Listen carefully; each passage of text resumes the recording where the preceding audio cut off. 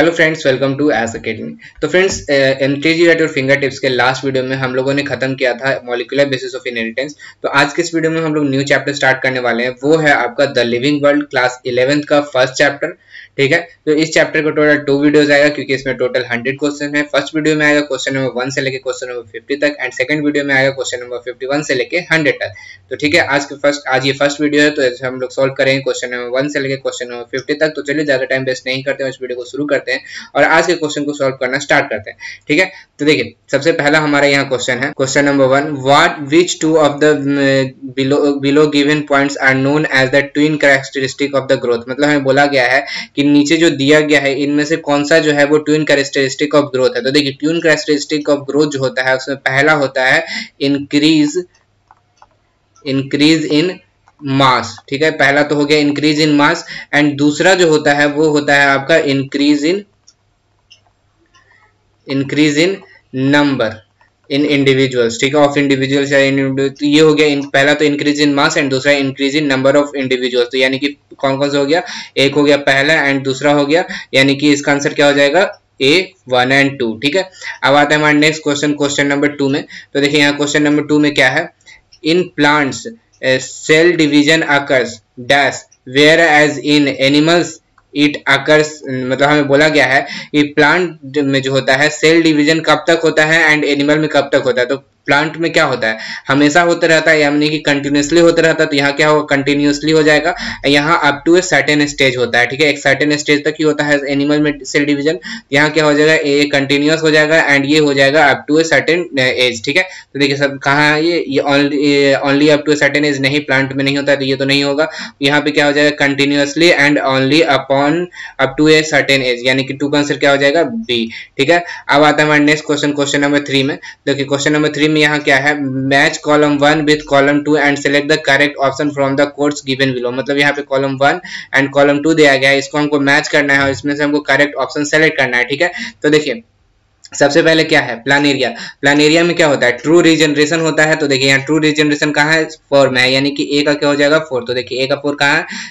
यहाँ है, यानी कि थ्री का आंसर निकल आया बी ठीक है? आगे देखिए यहाँ पे फंजाई फंजाई क्या होता है? फंजाई में हमारा हमारा जो होता है, वो होता है, ए सेक्सुअल स्पोर्ट से होता है, यानी कि सेक्सुअल ए सेक्सुअल स्पोर्ट से, यानी कि बी का हो गया टू ठीक है? ईस्ट में ईस्ट में जो होता है, वो होता है आपका बर्डिंग के द्वारा तो ये क्या हो जाएगा? बी सी का हो जाएगा थ्री ठीक है?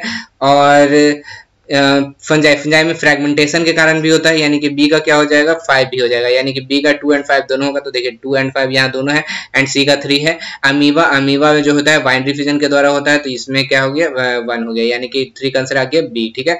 अब आते हैं हमारे next question question number four में। तो देखिए यहाँ फोर में क्या है? The statement nothing lives forever yet life continues illustrates the role of मतलब हमें बोला गया है कि लाइफ जो है हमेशा के लिए नहीं होता है। नथिंग लिव्स फॉर एवर मतलब कुछ भी फॉर एवर के लिए नहीं होता है बट लाइफ कंटिन्यूस होता है। ये किस चीज़ को इलिस्ट्रेट कर रहा है? किसका रोल है ये? तो ये रोल है आपका रिप्रोडक्शन का। रिप्रोडक्शन का, क्योंकि देखिए, एक इंडिविजुअल का बात करें तो वो उसका डेथ होना कंपलसरी है बट अगर कोई स्पेसिस का हम बात करें तो क्या कोई लाइफ का बात करें तो वो कंटिन्यूस होता है क्योंकि एक इंडिविजुअल जो है रिप्रोड्यूस करेगा, फिर दूसरा इंडिविजुअल बनता है तो ये जो है लाइफ क्या है? कंटिन्यूस है, यानी कि इसका, किसका रोल है? ये है रोल रिप्रोडक्शन का, यानी कि फोर आंसर क्या हो जाएगा? डी रिप्रोडक्शन ठीक है?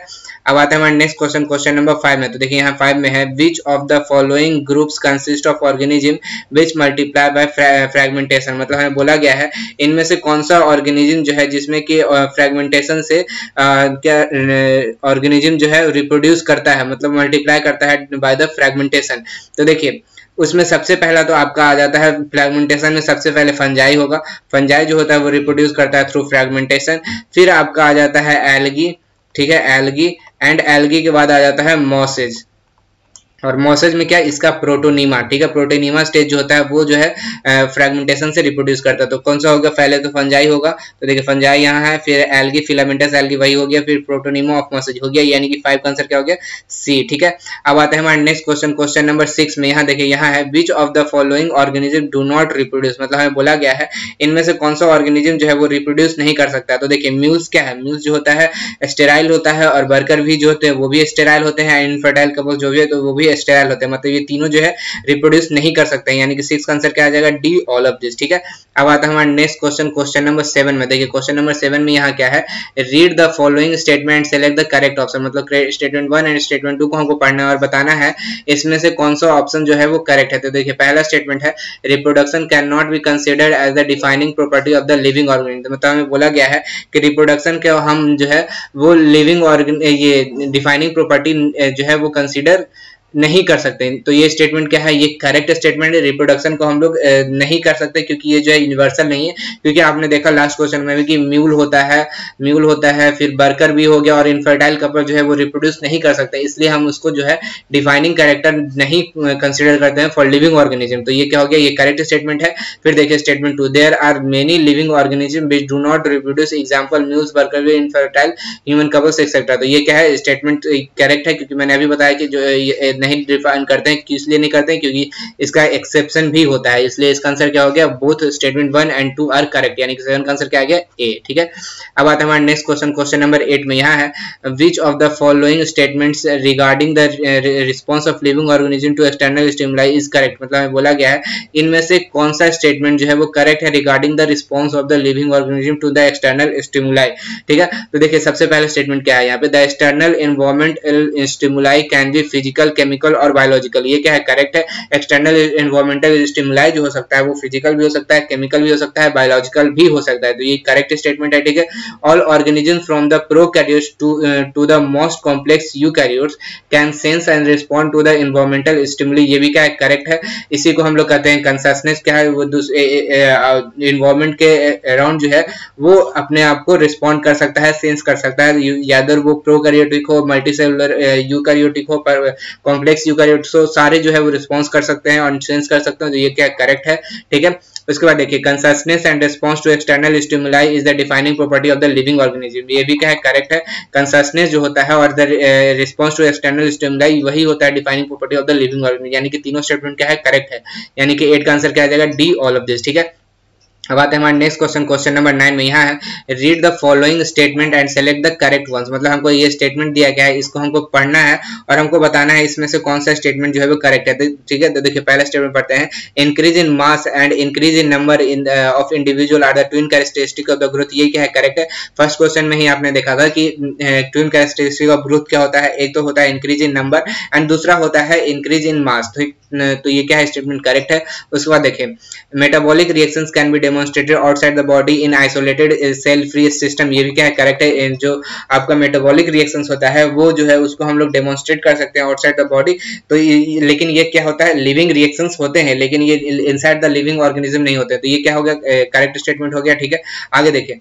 Response to stimuli is a defining property of the living organism इसमें भी आपने देखा था कि क्या है तो ये भी क्या है? स्टेटमेंट करेक्ट है। यानी कि रेस्पॉन्स टू स्टिमुलाई जो होता है, उसको हम लोग मानते हैं defining property of the living organism यानी कि तीनों स्टेटमेंट क्या है? करेक्ट है। यानी कि नाइन का आंसर क्या आ जाएगा? डी वन टू थ्री ठीक है?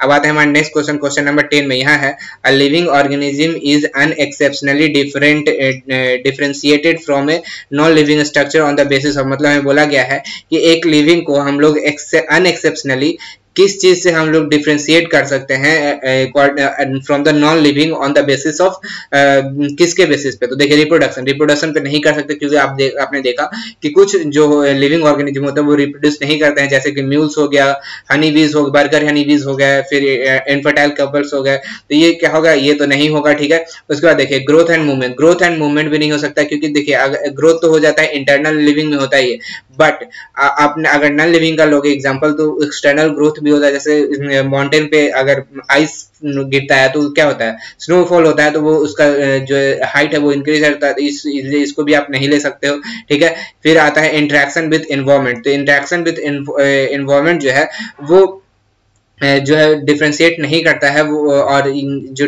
मेन डिफ्रेंशिएटिंग फैक्टर है, वो होता है आपका रिस्पॉन्सिवनेस मतलब कितना जल्दी वो रिस्पॉन्स करता है, कितना अच्छे तरीके से रिस्पॉन्स करता है, वही जो है डिफ्रेंशिएट करता है unexceptionally from the living to non living ठीक है? तो टेन का आंसर क्या जाएगा? डी ठीक है? अब आते हैं हमारे next question question number eleven में यहाँ है which of the following sets does not contain defining characteristic of the living organism मतलब बोला, हमें बोला गया है, इनमें से कौन सा, जो सेट है, उसमें हमें नहीं बताया गया है कि defining property of the living organism है। तो देखिए, सबसे पहला क्या है ग्रोथ है तो एंड रिप्रोडक्शन है। तो ग्रोथ एंड रिप्रोडक्शन जो है, वो डिफाइनिंग प्रॉपर्टी नहीं होता है metabolism and cellular level organization ये होता है, ठीक है? उसके बाद response to stimuli and consciousness ये भी होते हैं। तो ये क्या हो गया इलेवन आंसर ए ठीक है? अब आते हैं हमारे next question question number twelve में, ठीक है? तो क्वेश्चन नंबर ट्वेल्व यहाँ क्या है? Which of the following is the correct representation of the organization level in the living organism मतलब हमें बोला गया है, इनमें से कौन सा जो है करेक्ट ऑर्गेनाइजेशन है ऑफ़ द लिविंग ऑर्गेनिज्म तो देखिए अगर करेक्ट ऑर्गेनाइजेशन की बात करें तो सबसे पहले क्या होता है? कोई एटम होता है, यानी कि एटॉमिक लेवल पे होता है। सबसे पहले एटम हो जाएगा, फिर एटम से क्या बनता है? मॉलिक्यूल तो इसलिए क्या हो जाएगा? मॉलिक्यूलर लेवल पे। मॉलिक्यूलर लेवल मॉलिक्यूलर लेवल के बाद हम क्या कर सकते हैं? इसको सब सेलुलर लेवल सब सेलुलर मतलब सेलुलर से पहले होता है, उसको कहते हैं सब सेलुलर सब सेलुलर लेवल फिर आ जाएगा, इसके बाद आपका सेलुलर लेवल सेलुलर लेवल के बाद आ जाएगा टिश्यू लेवल उसके बाद आ जाएगा ऑर्गेन सिस्टम उसके बाद आ जाएगा इंडिविजुअल ठीक है? क्योंकि देखिए एटम से मॉलिक्यूल बनता है मॉलिक्यूल से मिलकर सब सेलुलर बनते हैं सब सेलुलर से मिलकर सेल बनते हैं और सेलुलर डिफरेंट सेल मिलकर टिश्यू बनाते हैं, और डिफरेंट टिश्यू मिला के ऑर्गेन सिस्टम बनाएगा, और ऑर्गन सिस्टम बन के इंडिविजुअल बनता है। तो ये हो गया करेक्ट रिप्रेजेंटेशन तो देखिए, सबसे पहले एटॉमिक कहाँ है? एटॉमिक यहाँ पे है, और यहाँ पे है, ठीक है? एटॉमिक के बाद मॉलिकुलर यहाँ भी है, और यहाँ भी है, उसके बाद सब सेलुलर लेवल यहाँ यानी कि ट्वेल्व का आंसर क्या आ गया? बी ठीक है? अब आता है हमारा next question question number thirty में देखिए क्वेश्चन नंबर थर्टीन में क्या है?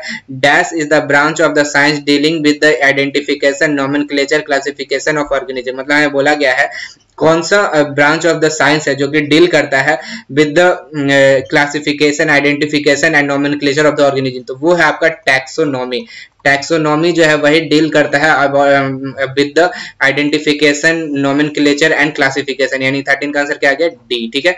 अब आता है हमारा next question question number fourteen में। यहाँ है first step of taxonomy is मतलब हमें बोला गया है टैक्सोनॉमी का फ़र्स्ट स्टेप क्या है? तो वो है आपका आइडेंटिफिकेशन आइडेंटिफिकेशन आइडेंटिफाई करेंगे, फिर फिर उसको हम लोग क्या करेंगे?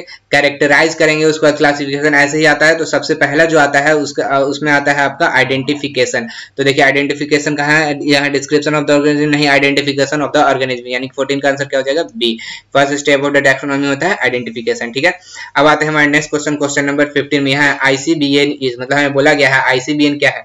तो वो है आपका international code for botanical nomen तो देखिए, यहाँ कहा international international code for botanical botanical code of botanical nomenclature यानी कि ये क्या हो जाएगा 15 का आंसर बी ठीक है? अब आता है हमारा नेक्स्ट क्वेश्चन क्वेश्चन नंबर 16 में यहाँ है founder of binomial nomenclature was मतलब हमें बोला गया है कि बायनोमियल नोमेनक्लेचर के फाउंडर कौन है तो वो है कौन सा? कार्लेस लिनियस यानी कि 16 आंसर क्या गया? ए ठीक है? अब आता है हमारा नेक्स्ट क्वेश्चन क्वेश्चन नंबर 17 में यहाँ है Linnaean system of classification was based on मतलब हमें बोला गया है लीनियन सिस्टम ऑफ़ क्लासिफिकेशन जो था, वो किस चीज़ पे था? तो वो था बेस्ड आपका मॉर्फोलॉजिकल कैरेक्टर्स पे, यानी कि 17 का आंसर क्या आ जाएगा?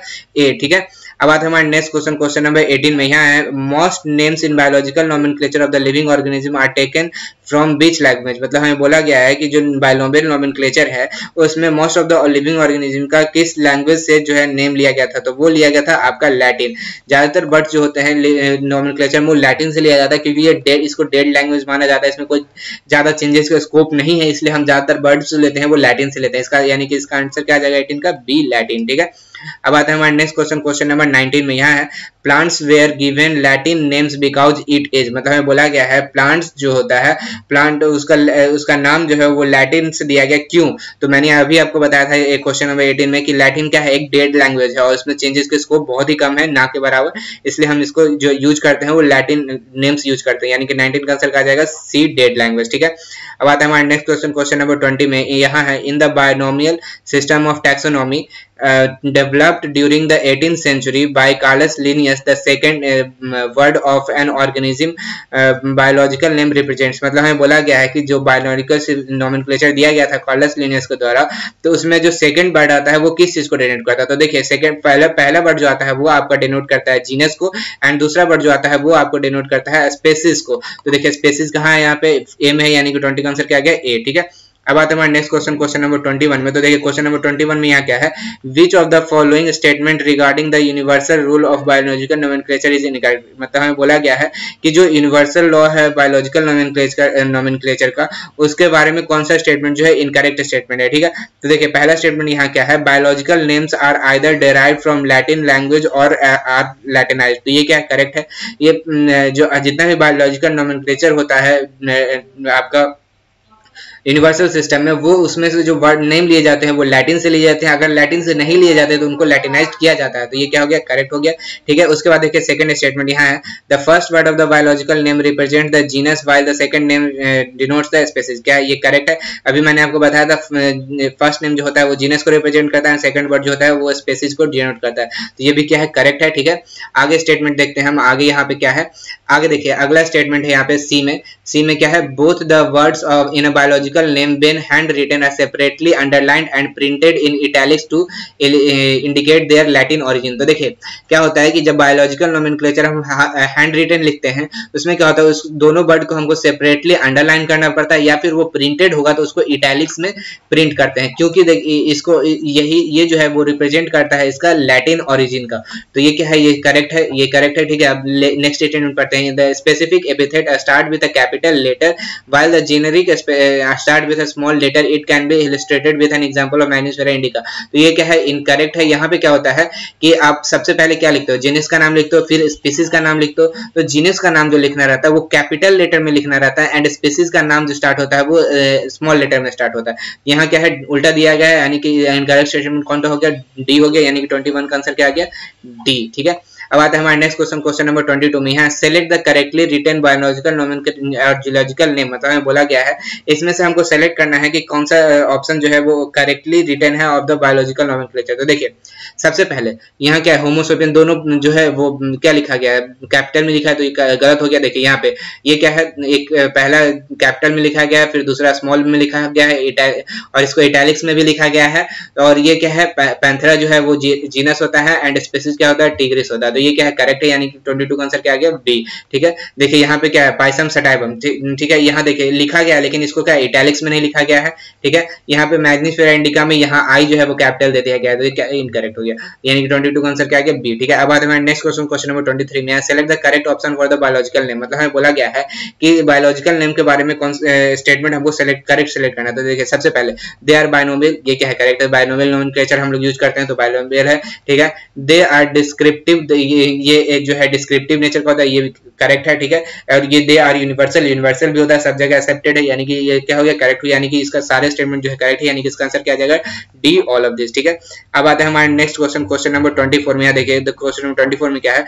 The scientific name of the banyan is written as Ficus benghalensis L which of the following statement is correct regarding this मतलब हमको बोला गया इसमें से कौन सा statement about the banyan tree Ficus benghalensis L जो है वो करेक्ट है। तो देखिए, सबसे पहले यहाँ, पहला स्टेटमेंट है letter L signifies the Latin language नहीं लेटर एल जो होता है वो लैटिन लैंग्वेज को जो है नहीं डोनेट करता है डिनोट करता है वो डिनोट करता है कि वो जो है ज, जिसने उसको सर्च किया था जिसने इसको नाम दिया था उसका साइंटिस्ट का नेम होता है ठीक है? तो ये तो नहीं होगा ठीक है? Name should be written in the reverse with the नहीं ये भी गलत हो गया ठीक है? The letter L signifies the taxonomist Linnaeus ये क्या है? करेक्ट है क्योंकि ये साइंटिस्ट को ही डिनोट करता है यानी 24 का आंसर क्या जाएगा सी ठीक है?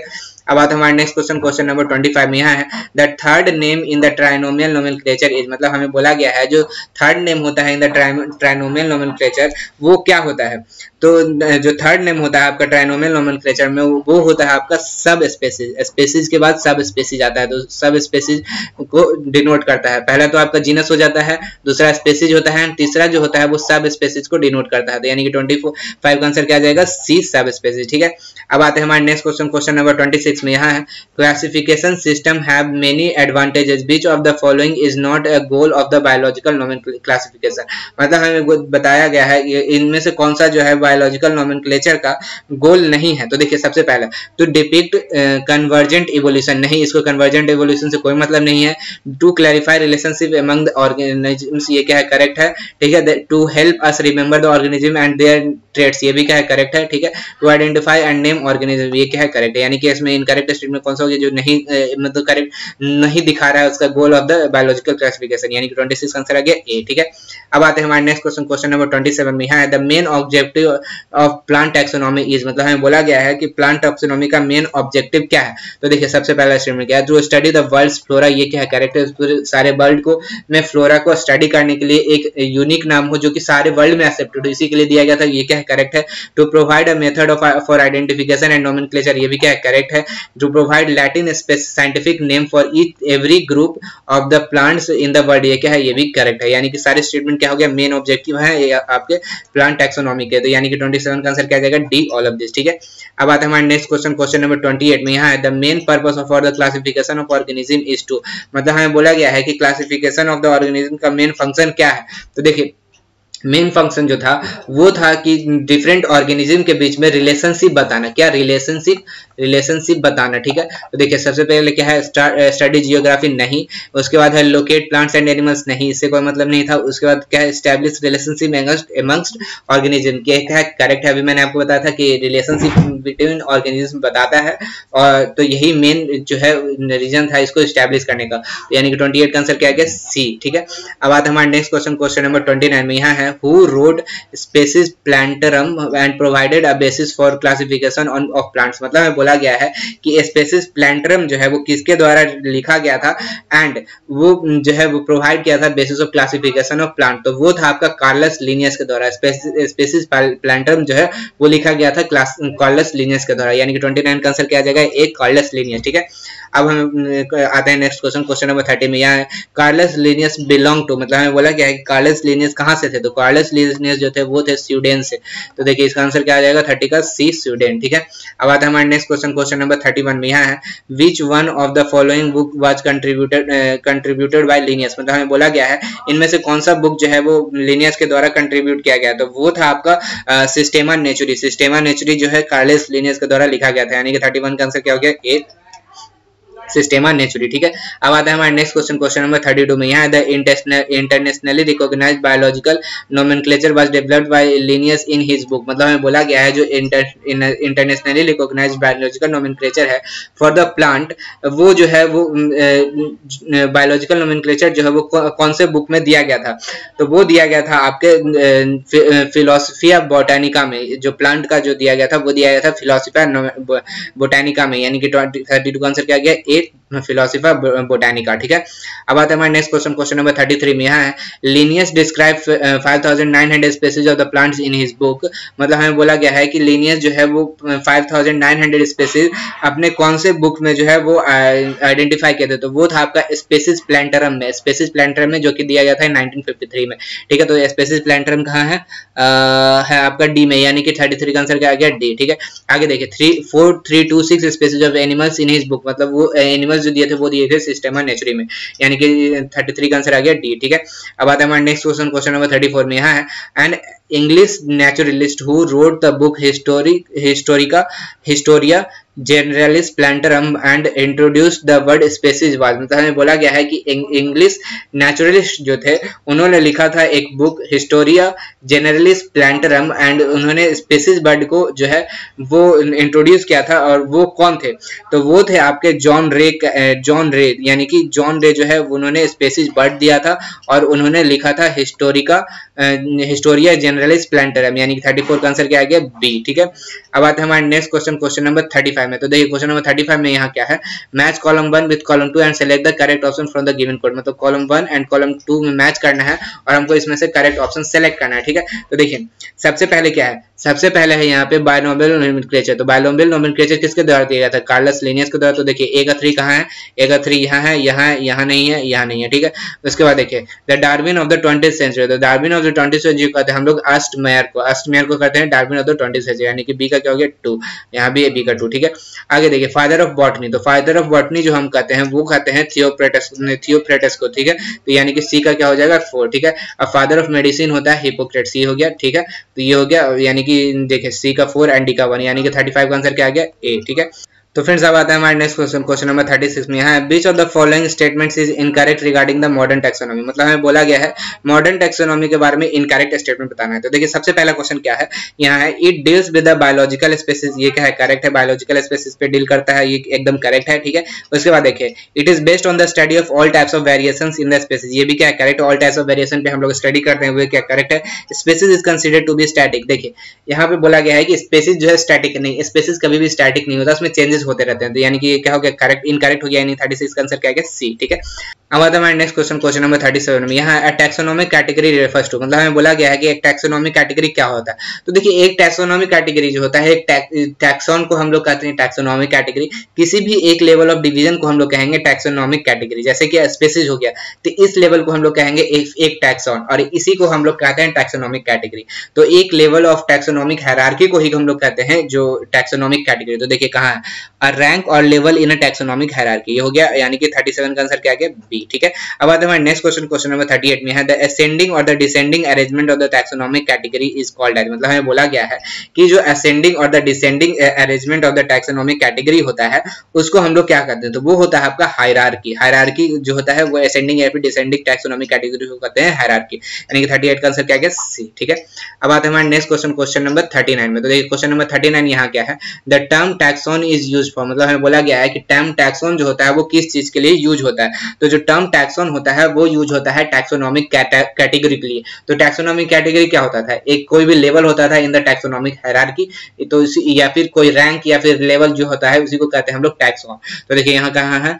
The ranks of the species नहीं रैंक्स ऑफ़ द फाइलम नहीं स्पेसिफिक स्पेसिफिक एपिथेट भी नहीं any rank of the taxonomic hierarchy तो 39 का आंसर क्या गया? डी ठीक है? अब आते हैं हमारे नेक्स्ट क्वेश्चन क्वेश्चन नंबर 40 में यहाँ है which term can be use for any taxonomic rank मतलब हमें बोला गया है, कौन सा टर्म जो है हम यूज़ कर सकते हैं फॉर एनी टैक्सोनॉमिक रैंक तो वो है आपका बी टैक्सोन क्योंकि टैक्सोन जो होता है, वो any rank of the taxonomic hierarchy होता है, ठीक है? अब आते हैं हमारे नेक्स्ट क्वेश्चन क्वेश्चन नंबर 41 में, यहाँ basic unit of basic unit और the smallest taxon of classification is मतलब हमने बोला गया है कि बेसिक यूनिट या फिर स्मॉलेस्ट टैक्सोन जो होता है क्लासिफिकेशन वो क्या होता है? तो वो होता है आपका स्पेसिस स्पेसिस जो होता है बेसिक होता है, सबसे पहला स्पेसिस होता है, उसके बाद जीनस आता है, ऐसे ही करके आगे आता है, ठीक है? तो यानी कि 41 का आंसर क्या आ जाएगा? ए स्पेसिस ठीक है? अब आता है हमारे नेक्स्ट क्वेश्चन क्वेश्चन नंबर 42 में, यहाँ है the basic unit upon which the system of classification are best is मतलब हमें बोला गया है कि वो कौन सा बेसिक यूनिट पे जो सिस्टम ऑफ़ क्लासिफिकेशन है वो बेस्ट है।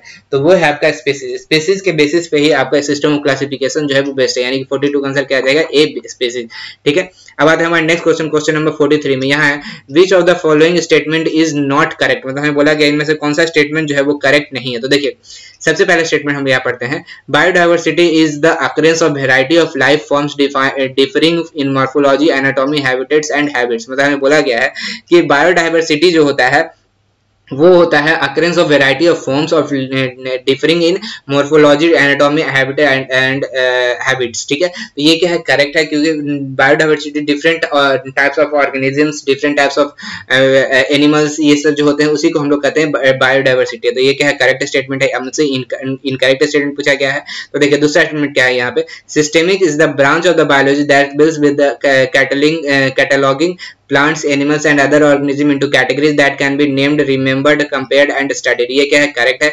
इसी को हम लोग सिस्टेमिक्स कहते हैं, ठीक है? उसके बाद देखिए classification is the branch of biology that deals with the principle and the procedures of the identification and nomenclature of organism तो ये क्या है? इनकरेक्ट है। ये जो होता है सिस्टेमिक्स में ही किया जाता है। तो ये क्या हो गया? इनकरेक्ट स्टेटमेंट हो गया, यानी कि 43 का आंसर क्या गया? सी ठीक है? अब आता है हमारा नेक्स्ट क्वेश्चन क्वेश्चन नंबर 44 में यहाँ है। Amongst all the kingdoms, the only taxon that exists in the nature as biologically cohesive unit is the मतलब हमें बोला गया है एमंग्स ऑल द किंगडम मतलब सारे किंगडम्स में, सिर्फ़ और सिर्फ़ एक टेक्सॉन जो होता है डेट एग्जिस्ट करता है नेचर इन नेचर में एज बायोलॉजिकली कोहेसिव यूनिट वो क्या है? तो वो जो है आपका, वो है स्पीसीज स्पीसीज क्या होता है कि उसमें बहुत सारे किंगडम आ जाते हैं. एक किंगडम में बहुत सारे स्पीसीज आ जाते हैं. तो वही जो होता है, वो बायोलॉजिकली कोहेसिव यूनिट की तरह काम करते हैं. तो ये क्या हो जाएगा? 44 का ए ठीक है? अब आते हैं हमारे नेक्स्ट क्वेश्चन क्वेश्चन नंबर 45 में. यहाँ है a true species consist of population which मतलब हमें बोला गया है कि जो ट्रू पॉपुलेशन होता है, उसमें ट्रू स्पीसीज जो होता है, वो कंसिस्ट ऑफ़ पॉपुलेशन बीच मतलब हमें बोला गया है कि एक ट्रू स्पीसीज जो होगा, उसका पॉपुलेशन कैसा होता है? तो उसका पॉपुलेशन जो होता है, वो इंटरब्रीडिंग होता है। जब तक इंटरब्रीडिंग नहीं होगा, तब तक हम लोग उसको स्पीसीज नहीं कह सकते हैं। जब आपस में ऑर्गेनिज्म जो है स्पीसीज के तब तक इंटरब्रीड नहीं करते हैं, तब तक हम उसको स्पीसीज नहीं कह सकते हैं। जब एक दूसरे में इंटरब्रीड करना स्टार्ट करेंगे, तभी उनको हम लोग स्पीसीज कहते हैं। तो यानी फोर्टी फाइव आंसर क्या जाएगा बी इंटरब्रीडिंग ठीक है? अब आता है हमारे next question question number forty six में है in biological terminology a group of similar organism which are capable of interbreeding and producing fertile offspring is called तो अभी देखिए, यहाँ पे मैंने आपको बताया था कि एक ट्रू स्पीसीज जो होता है, उसका पॉपुलेशन क्या होना चाहिए? इंटरब्रीडिंग होना चाहिए। तो यहाँ क्या है? इंटरब्रीडिंग के बारे में ही हमें बोला गया है और प्रोड्यूसिंग फर्टाइल ऑफ़ स्प्रिंग ये क्या हो जाएगा? स्पीसीज हो जाएगा। यानी कि 46 का आंसर क्या गया? ए स्पीसीज ठीक है? अब से अब आते हैं हमारे नेक्स्ट क्वेश्चन क्वेश्चन नंबर 47 में यहाँ है मैंजी फेरा इजा मतलब हमें बोला गया है कि मैंजी फेरा क्या है। तो देखिए, हम लोग नाम लिखते हैं क्या? मैंजी फेरा इंडिका और मैंजी फेरा फ़र्स्ट फ़र्स्ट वर्ड यानी कि ये क्या है? जीनस है। यानी कि ये जो है मैंजी फेरा जो है वो जीनस है, यानी कि 47 का आंसर क्या हो जाएगा? बी जीनस ठीक है? अब आते हैं हमारे नेक्स्ट क्वेश्चन क्वेश्चन नंबर 48 में यहाँ है। Genus is a group of similar and related मतलब हमें बोला गया है जीनस जो है ग्रुप है और किस चीज़ का ग्रुप है और किस रिलेटेड तो वो है आपका स्पीसीज स्पीसीज अगर हम बोले कि जीनस क्या होता है तो जीनस होता है ग्रुप ऑफ़ स्पीसीज तो यानी कि 48 का आंसर क्या आ जाएगा? सी स्पीसीज ठीक है? अब आते हैं नेक्स्ट क्वेश्चन क्वेश्चन नंबर 49 में है a collection of species which bear a close resemble to one another in the morphological character to the floral part is known as मतलब हमें बोला गया है, एक कलेक्शन ऑफ़ स्पेसिज है, जो कि बियर कर रहा है रिजेंबलेंस टू वन अनदर एक दूसरे से रिजेंबलेंस शो कर रहा है। तो इन मॉर्फोलॉजिकल कैरेक्टर्स तो ऑफ़ द फ्लोरल पार्ट तो इसको हम लोग क्या कहेंगे? तो वो हो जाता है जीनस जब बहुत, कुछ कलेक्शन ऑफ़ स्पेसिस जब रिजेम्बलेंस करेंगे शो करेंगे तो वो होता है, उसका ग्रुप जो बनता है, वो बनता है जीनस यानी कि 49 का आंसर क्या आ जाएगा? सी जीनस ठीक है? अब आते हैं हमारे नेक्स्ट क्वेश्चन क्वेश्चन नंबर 50 में. तो देखिए, यहाँ पे क्या है? Select the incorrect statement with respect to the taxon genus मतलब हमको जीनस के अकॉर्डिंग जीनस के रिलेटेड हमें इनकरेक्ट स्टेटमेंट सेलेक्ट करना है. ठीक है? तो देखिए, पहला स्टेटमेंट क्या है? It is a group of group और assemblage assemblage of related species ये क्या है? करेक्ट है, क्योंकि जीनस जो होता है ग्रुप ऑफ़ स्पेसिस को ही कहता है। तो ये क्या है? करेक्ट स्टेटमेंट हो गया, ठीक है? अब यहाँ पे नेक्स्ट स्टेटमेंट है। Genus essentially possess more than one number of species मतलब बोला गया हमें कि एक जीनस जो है एसेंशियली उसके पास एक नम एक से ज़्यादा स्पेसीज होना चाहिए। लेकिन, देखिए ऐसा कोई ज़रूरी नहीं है कि एक से ज़्यादा होना ही चाहिए। अगर नहीं होता है तो इसमें ए, अगर हम मान लीजिए एक जीनस में एक एक ही स्पीसीज को रखना चाहिए तो वैसा भी हम कर सकते हैं। ऐसे में ऐसा कोई लिमिटेशन नहीं है कि एक से ज़्यादा होना ही होना चाहिए। ये क्या है स्टेटमेंट इनकरेक्ट स्टेटमेंट है about the taxon genus ठीक है? यानी कि फिफ्टी का आंसर क्या आ गया बी ठीक है? आगे देखिए। Lion tiger leopard jaguar are closely related species which have been placed in the genus Panthera and are respectively named as Panthera leo Panthera tigris Panthera pardus and Panthera onca का। ये क्या है? Correct है। ये सारे जो होते हैं, वो सेम जीनस से होते हैं। उनका नाम होता है पैंथरा और हर एक का नाम हो गया लायन का हो गया पैंथरा लियो टाइगर का हो गया पैंथरा टिग्रिस लेपर्ड का हो गया Panthera pardus and the jaguar का हो गया पैंथरा ऑन का। ठीक है? उसके बाद देखिए लास्ट स्टेटमेंट सोलनम पेनिसिलियम विचिंडा विचिना and Canis are the example of genera ये क्या है? करेक्ट है? ये सारे जो है एक एक जो है जेनस जीनस है। तो ये क्या है? स्टेटमेंट करेक्ट है, ठीक है? तो 50 का आंसर क्या आ गया? बी ठीक है? तो यही सारे 50 क्वेश्चन जो थे, मुझे आपको बताना था क्वेश्चन नंबर वन से लेके 50 तक। आई होप आपको ये सारी चीज़ें समझ में आ गए होंगे। और एक बार आप खुद से जो है ये क्वेश्चन नंबर वन से लेके क्वेश्चन नंबर 50 तक को सॉल्व कर ले और नेक्स्ट वीडियो में आपको सॉल्व करवाऊँगा क्वेश्चन नंबर 51 से लेकर हंड्रेड तक, ठीक है? तो फ़िलहाल इस वीडियो में इतना ही था। आई होप आपको सारी चीज़ें समझ में आ गए होंगे और ये वीडियो अच्छा लगा होगा। और वीडियो अच्छा लगा तो इस वीडियो को लाइक कीजिएगा। अपने सभी दोस्तों के साथ इस वीडियो को शेयर कर दीजिएगा। और अगर आप हमारे चैनल पर पहली बार विज़िट कर रहे हैं तो हमारे चैनल को सब्सक्राइब कर लीजिए क्योंकि हम लोग ऐसे ही ऐसे ऐसे कंटेंट्स आपके लिए लाते रहते हैं। तब तक इस वीडियो में इतना ही Thanks for watching.